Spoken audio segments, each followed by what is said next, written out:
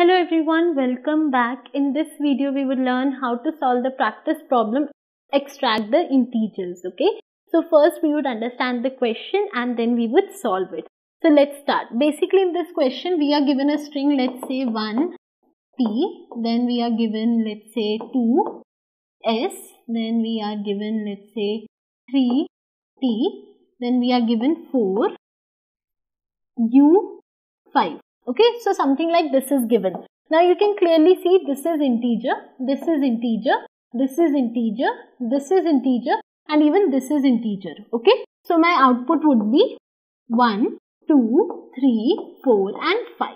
Okay, so basically in a given string I need to extract all the integer values. Okay, now for doing this we would be importing a module RE. Okay, RE is for regular expressions. This was this would basically help you in solving the question in three lines because you would be able to use RE's functions, okay? That are super easy and would help you great in a great way to solve this question, okay? I hope the question is clear to you. Now let's move forward to the solution part. Now what you need to do is you need to go to the practice portal. In practice portal in the difficulty you need to choose school, okay?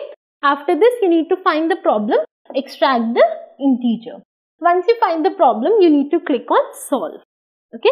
So let's solve the question. Given a string, extract all the integers from S. Okay. I hope the question is clear to you and we would be coding it over here. Okay. So let's start. First step would be importing RE, right? Import RE. Okay. Then the next is using its functions, right? So I am saying let's say n over here. Okay. n is for the numbers. Okay. re dot compile okay? Over here in compile I would be mentioning the things that I need to search okay? I need to search the numbers between 0 to 9 in the given string okay? Now n has the logic for finding the numbers okay? Next I need to find it. One minute let me do this. Then it would be k equal to n okay? I am applying the logic.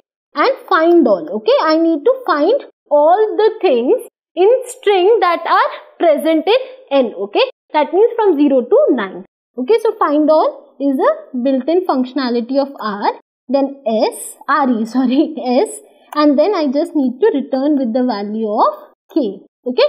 Because k has the final result stored. Now i would click on compile and run.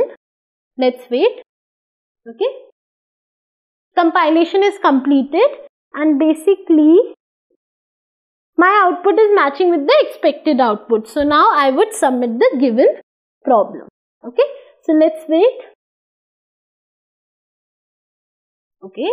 Test cases are being processed. Problem is solved successfully.